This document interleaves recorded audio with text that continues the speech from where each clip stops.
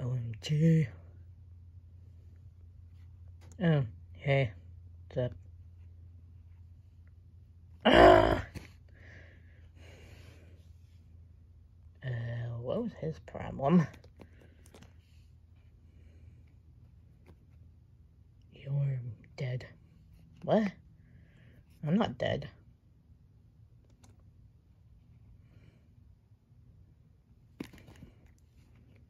Well, I guess I'm a zombie now.